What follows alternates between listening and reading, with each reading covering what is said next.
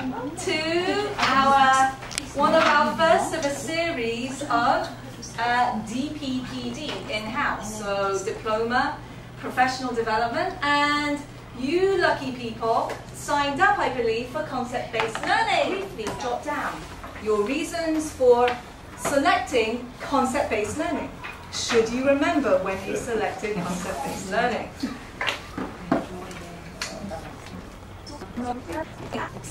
What questions, if you could reduce your confusions or your questions about concept-based learning to one or two core questions, what would those be, or what would that question, how would that question be expressed? On the Can you same repeat the question? Uh, So write down one question that sums up Okay, your... just take a- You take a look at this.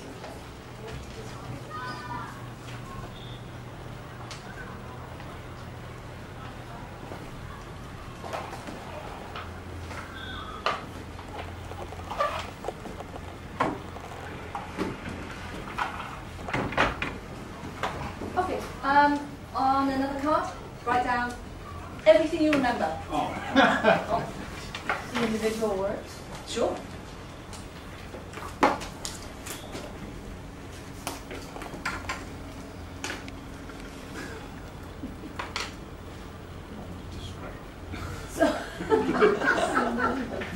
There was an air of rebellion in the corner over here. I will never take a workshop. I'm in again. No, there's no rebellion, but We're not children here, we're adults, so I feel I can just call upon anyone. Like, how many words did you come up with, Isa? two. Two, okay. Uh, anyone else? I got three. One, three, Five. and five. Okay, three, two, um, Six, but I think half of them are wrong. okay, so what strategies? I'm, I'm not so much interested in the, in the words themselves, but what strategies did you use? Because you were kind of put in a pressure cooker sit- situation just then. There were some of them that, there were two that had, uh, began with uh, uppercase letters. And so those two, I think that I remember, because it was beginning, why those two in uppercase? okay. And I think those were two of them that I remembered. thank you. So some kind of visual trigger, perhaps? Yeah. The first Yes, two. Isa? None of them were concept. None of them are concepts. No, and that's what I, I- so I said to Olga, we tried to find a link. There's no link. There's no concept. So I was like, okay, why this word for there? Or Okay. why they written there? But you were trying to find some kind of link. Yeah. Yeah, I guess the link that I found was some of the words I, sho- I associated with like my morning routine when I was getting up in the morning. So I, the three I wrote down kind of associated with, with that. I, I looked at uh, how they the pattern, how they were arranged. Mm-hmm. So I wasn't looking at the words so much as Okay, and then you might have tried to replicate that pattern where you put the words, your two words. my one. word. Oh, you are?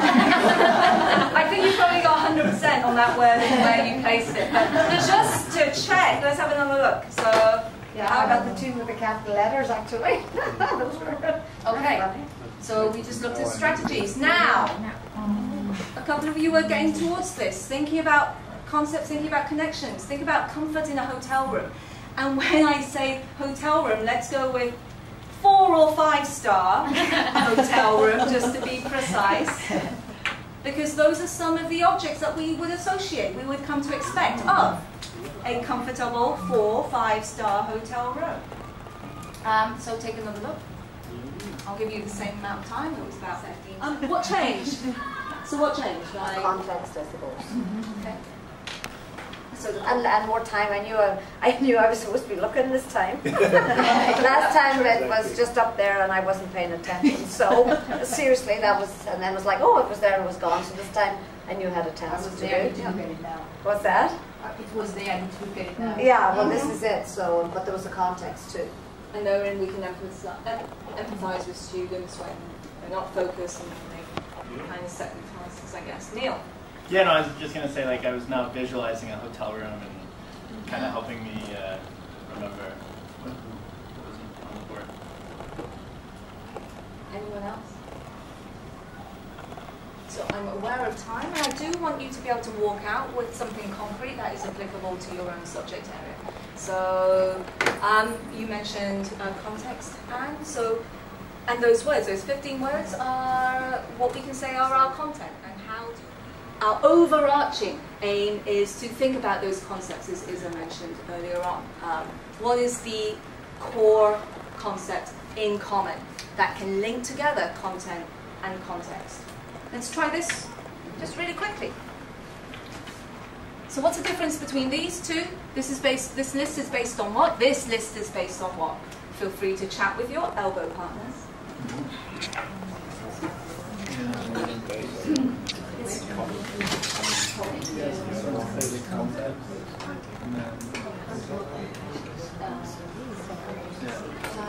And anyone, just holler if you think you've got the answer.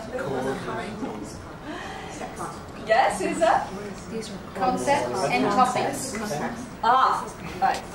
Concepts and topic based or concept and any synonyms? Content based, absolutely. Is this familiar to us or is this all brand new? This idea of concepts underscoring our curriculum planning. They just might not have called it these words. There's probably something's been going on, what's old is new, and it's just then you pay attention to naming it. Mm-hmm. And I think some subject might lend easily to concept versus others. Like I, I know in history, it's, it's very easy to get into concept very quickly in a matter of. But if, I, if you you're know, looking at what Eileen had on, she had content plus context equals concept. So if I, in French right now, I'm doing like a, um, um, what's a co portable. So once the kids have the context, then it's easier for them to remember the vocabulary that is related to it. So that's content. That's what I said. Some, that's what I said. Some subject might land. Yeah, yeah, yeah. Like if I do the very Wall, That's my, my phone, that's okay. my My two phone's all right. my two concept would be cause and consequences right away, mm-hmm. with no even thinking about it. Right? Yeah. It's just coming very quickly. Mm-hmm. Right? Thank you. Because I'm going to argue that we are all concept-based learning practitioners. Yeah. Yeah. We all do that. Because, correct me if I'm wrong, we are all middle years program teachers. We all teach classes in the MYP. We have all spent time with our curriculum mapping system, Atlas. And at the top, you will recall key concepts, related concepts, global concepts. Um, so if we want to define these concepts, I'm going to turn to Lynn Erickson. So, I'm going to- traditional curriculum. I'm not saying that we don't teach facts, that we don't go through topics. We need to adhere to the requirements of our various curricula. But we're all aware of making connections, of giving students agency so that the student is at the center of learning and the student has therefore responsibility for making connections, for using approaches to learning and transferable skills. So that we foster in our classrooms right now at CDNIS this development and engagement of personal intellect at a deep level and uh, we recognize through um, emphasizing universal ideas, the concepts that underpin our classroom teaching, that in this Google world, students don't need to recall facts in the same way, but they need to have an applicable and deep understanding of the core concepts. So what's happening at the diploma level? Lynn Erickson is currently working with the IBO um, and there are various subject teams who are reviewing subjects in uh, group 1 to group 6 such that these guides will be published at different times. It depends on the uh, timeline for your particular subject area. But the emphasis will be the same as, it, well, similar to MYP in that the trans students should graduate demonstrating a clear ability to transfer concepts and conceptual understanding through time across cultures, across situations, and students will graduate from the diploma with the ability to see patterns and connections between new knowledge and prior knowledge. In the MYP, we have uh, this set of related concepts. So I've just picked out language and literature group one, and also integrated science that visualizes the diploma curriculum. So all of our individual subjects in our different six groups are on the outer ring. But in the center, you've got the child, then approaches to learning those transferable skills. And then theory of knowledge, extended essay, creativity, action, and service. So there is this kind of movement to some kind of universalization of the learning experience. So over to you. So Lynn Erickson provides us in 2011 with this scaffold, this model.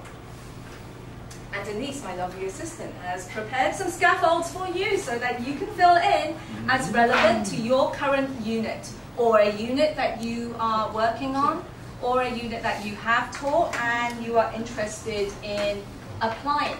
History, facts, moving into topics here, early European migration, through to concepts, migration, needs, change, cultural diffusion, and then the essential question that we're starting to find in the new diploma guide, subject guides.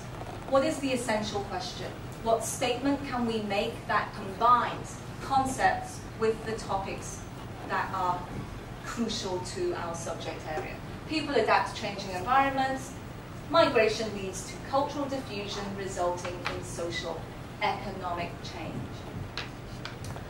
For the arts, for language arts, so group one and group five, I believe, we're, those are more process or skills-based subjects. So we have two different models.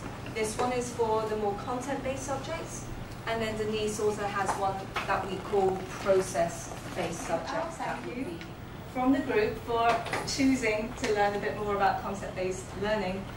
Um, I want you to just return to the question and you all jotted down the question at the start.